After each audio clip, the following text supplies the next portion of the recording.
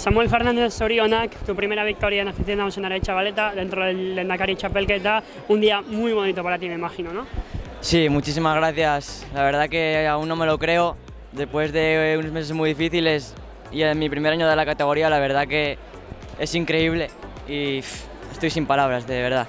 ¿Cómo ha sido el día? Habéis llegado cuatro a la meta después de una fuga donde teníais representación, pero habéis conseguido atrapar la fuga, luego en el puerto se ha decidido y habéis conseguido llegar cuatro.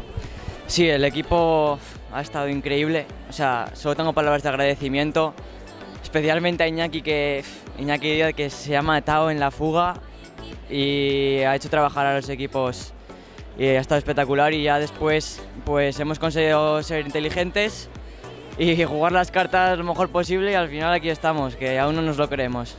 Tú lo decías, es tu primer año en la categoría, pero ya te hemos visto dar realmente un muy, muy nivel, tanto en Vidasoa, en Nafarroa, has hecho un calendario y una temporada espectacular.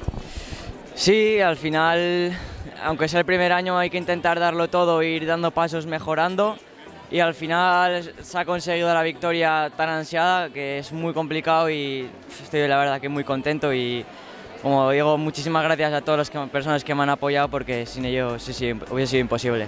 Sorionak. Muchas gracias.